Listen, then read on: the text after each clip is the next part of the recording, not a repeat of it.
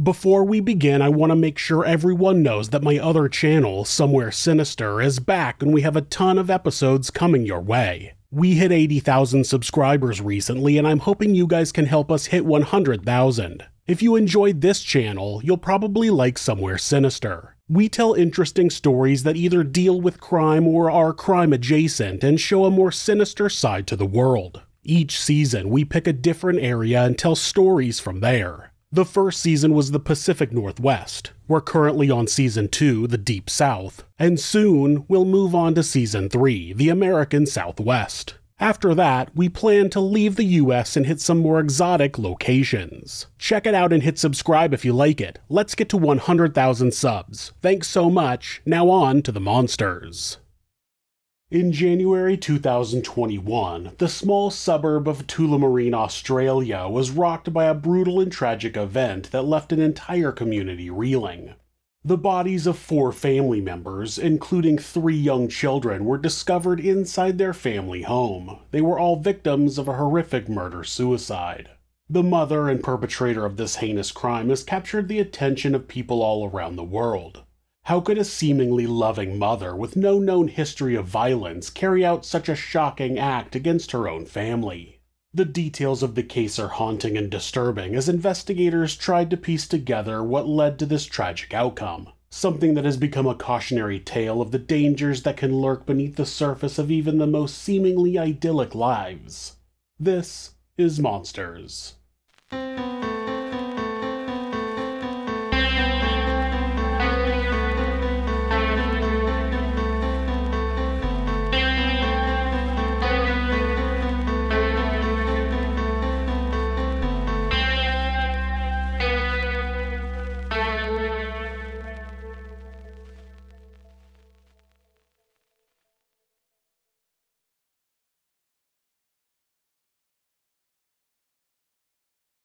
The Perinovic family seemed to be a picture perfect suburban unit. Katie Perinovic, a loving mother of three, was known for her warm smile and her dedication to her family. Everyone who knew her, even after the tragedy happened, had come out to say nothing but beautiful things about her. Her husband, Tom, was a hardworking man with a knack for fixing anything that broke. Their children, 11 year old Claire, 7 year old Anna, and 3 year old Matthew, completed the family portrait. To outsiders, their family was one that most people envied, but that was a picture of the family prior to 2020. When a lockdown was ordered in Victoria in March of that year, Katie was stuck at home without being able to visit friends and family. Her husband, Tomislav, who goes by Tom, said that the isolation had a severely negative effect on Katie's mental state. Neighbors would say that they saw Katie the day before the event and heard the kids outside playing in the days prior. Like many people with mental health issues, Katie was doing a good job of hiding her own despair. Katie had stopped working at her job as a physiotherapist in March of 2020 as was mandated to stay home and take care of the three children, which included homeschooling their oldest child, Claire. As expected, the new development was hard on the couple, but Tom said that it was more strenuous on Katie and it had a great deal of negative effect on her mental health. The stress was beginning to take a toll on her, between the early days of March and the end of 2020, Victorians were locked down in their homes for a period of 262 days, one of the longest lockdowns in history. Tom also attested, quote, when restrictions were eased, Katie had started withdrawing from friends. She'd say we can't meet. She kept reading articles and listening to media news over and over. Tom also said that she began experiencing paranoia, being scared and worried over nothing. To avoid her always being indoors, they started a routine that involved exercises, taking walks in the evenings, and getting fresh air. As Katie continued living in isolation from her friends and family, her mental health rapidly declined. After the lockdown was eased, there was a 3 mile or 5 kilometer radius on how far people could travel, and that made distance become a barrier for her friends and family members who wanted to come and check up on her well being. Therefore, she was not able to see her family. Days turned into weeks and months, and as time went by, her memory began becoming affected.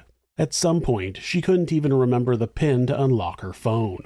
After several failed attempts, they had no other option but to send the phone away to be unlocked. After a while, she was able to pick herself up and go back to work, but after only a few weeks, she quit. Whatever made her resign her position still remains a mystery even to Tom, as he never got an explanation before she would eventually take herself and her children out of this world.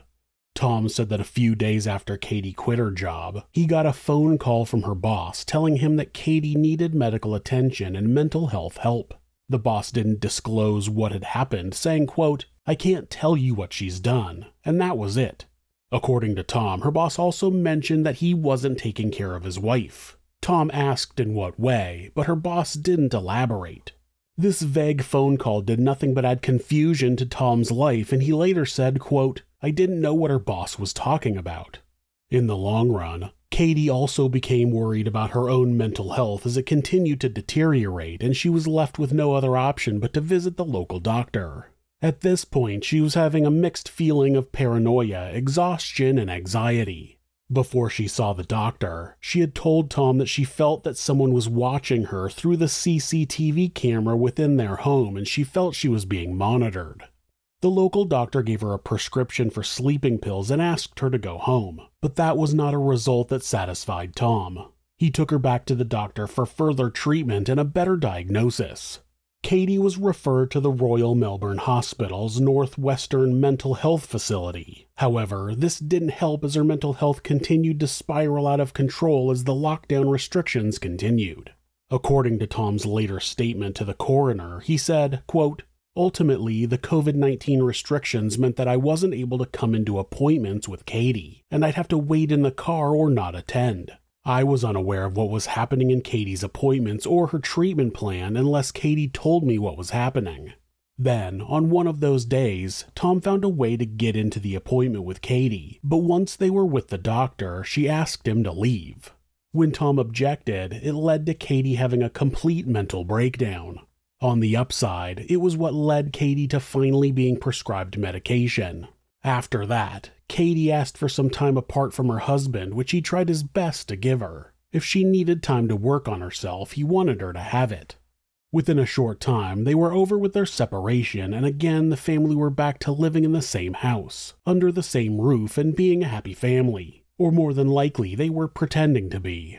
At the end of 2020, Katie overdosed on her medication. Tom wanted her to get checked up at the hospital, but she refused. When she finally saw the doctor, she told him that she accidentally took too much, trying to induce sleep and never intentionally wanting to overdose. The doctor was angry and didn't buy Katie's excuse. Hence, he told Tom to hide the medications away from Katie and manage them himself. From that point on, it became his duty to administer Katie's medication. It turned out that Tom took the pills out to the garage and hid them there. Tom mentioned in a later interview that there wasn't anything explicit that showed that the children could possibly have been harmed by Katie. She wasn't toxic towards them. Her approach towards them hadn't seemed to change as her mental health declined. She was still the loving and caring mother that she had always been to them, so Tom had no reason to believe that leaving them alone with her would put them in any danger. On January 14, 2021, Tom had gone out to buy a new television for the family he was only away from the home for a few hours, just enough time to purchase the TV and to stop by the grocery store. When Tom came back, he saw the lifeless body of his son lying on the couch in the living room with a cut and injuries on his head and arms. With no idea of what had befallen the remainder of the family, he put a call through to emergency services. As the paramedics attended to his lifeless son, Tom went to the other rooms in the house only to discover what Katie had done he returned to the living room and let the paramedics know that they were all dead. When the Victoria police got to the crime scene, they instinctively believed that Tom was the culprit who had committed the murders of his family. Tom, who was distraught and in shock of what had happened in his home, was handcuffed by the police. At the scene, he was interrogated while the paramedics attended to him due to his shock. He was then taken to the police station. Tom would later tell the coroner, quote, when the police came, there were so many people, and I was in a state of shock and couldn't speak. I was just lost for words, and it was incomprehensible to me what I had just seen in my home. The police treated me unfairly. There were so many faces and detectives questioning me outside on the nature strip in front of everyone on the street. He also went further to say he recalled a policewoman yelling at him during that traumatic moment, which further broke him. When the detectives had seen that he was probably innocent, they bundled him in a blanket and dropped him off in front of his parents' house. He also told the coroner that he wasn't given any medical help both at the station and when he was dropped off at his parents' home. The next day, the police apologized to Tom. However, he asked for a written apology in hopes that they'd never treat someone else that way ever again. Despite it being years since the incident, Tom has yet to be granted custody of his wife's mobile phone, which contained photographs of the children and his family as a whole. He called the photos priceless. He said that Katie's phone was seized by the police for investigation and examination, and since then it has never been returned. The Victoria police have refused to comment if they truly did give an apology to Tom or as to why Katie's mobile phone is still in their custody. Tom's sister, Maria, had come out and said that she had a similar experience during her brother's arrest. She stated that the police wouldn't allow her to see Tom while he was in custody. She also said that they had given her the impression that he had committed the crime. On top of that, they didn't outright tell the media that he was innocent immediately. It was a day later, and by then the media had already broadcast the first news story regarding Tom's arrest. That was pretty bad, Everyone thought that he was a guilty man who had murdered his wife and children. His image was all over the media as a murderer, and the worst part was that he was dropped off by the police without any medical help or counseling. There wasn't any support or social worker provided for him. Tom was in total shock and his mind was in utter chaos. After being left to fend for himself, a victims advocacy group provided his family with the number of a counselor they should call. The group told the family that only three sessions would be covered and they'd take up payment for the rest of the service. Then came the stigma. According to Maria, quote, for men, there is always a stigma about he treated his family, which is unfair. Tom was a loving, supportive, kind, loyal, and hardworking father and husband. It has been extremely difficult for me to watch my brother go through all of this and see his sadness, which is ongoing, and it will be for the rest of his life. At the end of the investigation, a judge stated, quote, it is likely that the brevity of reviews from the 8th of December 2020 onward and the lack of face to face or telehealth reviews contributed to psychoeducation not being provided, and this may have also contributed to her non compliance. The judge was unable to state if there was a probability that the deaths could have been prevented. She did say, quote, I do, however, find that the mental health treatment that was provided to Katie Perinovic to be suboptimal in the circumstances. I acknowledge and accept appropriate restorative and preventative measures have been taken by Northwestern Mental Health since the fatal incident. The judge made no findings on what impacts Victoria's lockdowns had in contributing to the sudden mental illness suffered by Katie, or those tasked with helping her. She said, quote, I find that there were missed opportunities to intervene in the course of events preceding and leading to Katie Perinovic's death. Despite her unforgivable act, Tom still seems to want to see the best in his wife. According to him, quote, Katie was a great mom and good physiotherapist. She helped and treated many patients over her career, and it's a shame that she was not provided with the level of care she deserved at her time of need. Despite Katie Perinovic being a great mother while she was alive, her final act, the one that ended the lives of her three children, is what turned her into a monster.